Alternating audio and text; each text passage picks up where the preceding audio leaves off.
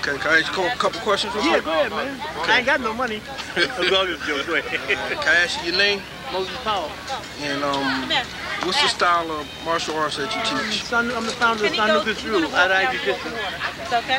And how long have you been studying I art? put you, that's your jacket, right? Exactly, about 47 years. 47 years. And um, Hey, how many not to students get out of hand. have you taught that Well, brother, you know, But you're I- I've not too taught bad. some, Alright?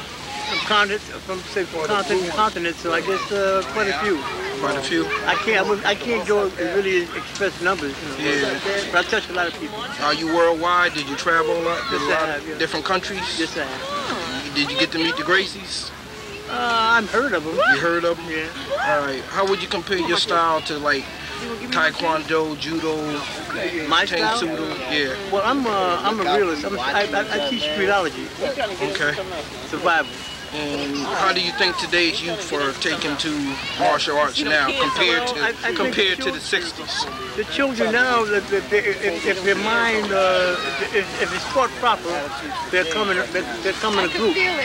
But if it's just uh, for kick, punch, and block, it's not real.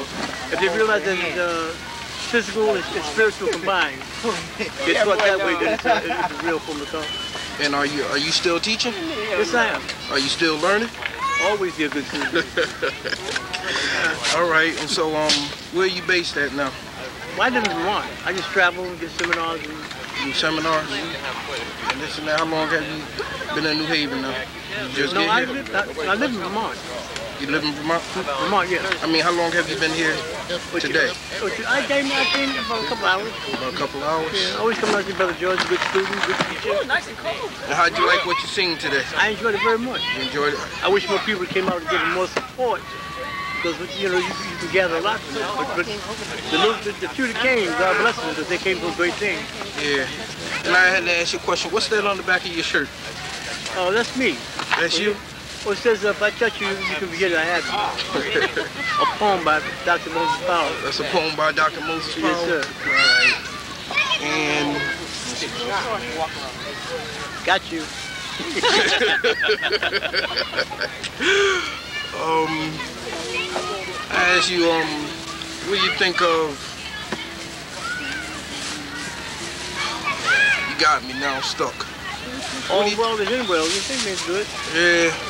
What do you think of most of the the teachers that are out here now? Do you think there's enough teachers? Do you think there's enough students, or do you think martial arts Well, is I think there are very few, uh, very few teachers and more politicians. Okay. Politics in martial arts is really terrible, but uh, those who really uh, uh, dedicate themselves to teaching, there's some great ones out here. You got to search wide and far for them. All right. What do you think of karate competition, like point fighting? Well, that's good too, but it's still politics there too, I guess. Still politics Yeah, there? favoritism, you know, I think uh, if the student's taught well, he should fight well. Without Yeah. coaching, you know. I thank you for your time. And if there's anything you want to say to the public out there before I leave? God bless everybody, man. Health, money, riches, and all walks of life. All right, thank you, sir. Thank you. It takes a lot for man to dress somebody you know, dress somebody in town, man. I dress in the town, I make some So. One, question. You from? See, not here. Where you from? My way, do that, I'm coming back. See, touch your soul. Everybody, everybody feel.